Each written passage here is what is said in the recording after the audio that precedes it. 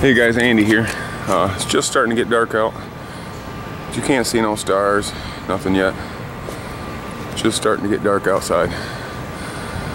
But if you look right up there by that tree, I had to show you this because I've been watching this for two weeks.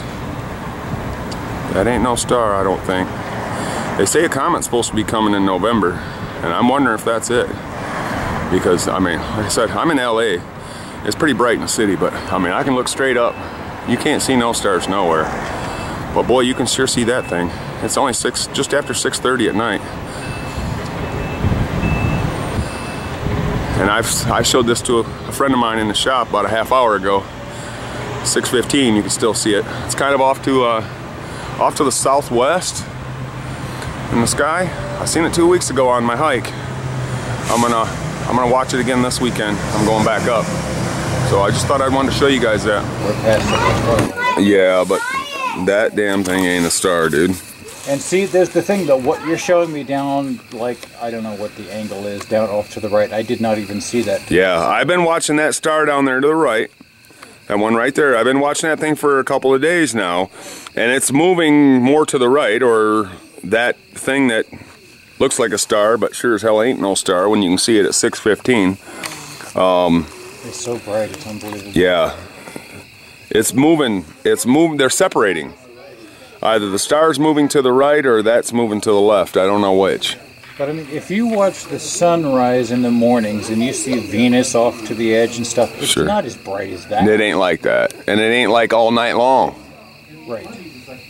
I mean, we could stand here till 9:30 before it goes all the way down. Yeah, sure, sure. I watch it until about 8:30 at my work, only because I'm in the city and there's buildings next door. Now look over behind you on inspiration. You guys want to see the moon rise? Oh yeah, the look moon's the coming up. over behind Mount Wilson over there. The moon's The moon's come coming right up over there. Oh, yeah. So, but you can't see no other stars up here, but you can sure see that damn a thing. few minutes, we have a beautiful full moon come up over it. You can see that. Ladies and gentlemen, we are looking at Planet X. Nine to ten planets revolving around Earth's twin that Yeah. does not achieve fusion, a brown dwarf We'll see that, but coming into our solar system. I That's think a it's planet. comet. A planet covered in water. We'll see. That is what a comet is. Ice. There we go. Now the moon's up. She's popping up over the cloud or the mountain there. You can see it, nice and big, bright, big, bright full moon. Yep. But look across the sky. I'll even put the uh, mountains in here for comparison. You see any? You see any stars? No, you see the moon there. You don't see any stars until you come around here to that thing.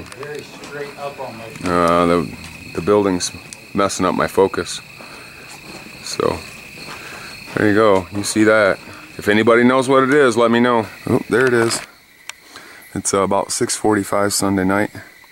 Um, I didn't make it out here to record this as early as last night. I'm going home in the morning, early morning. But it's up there in the sky again.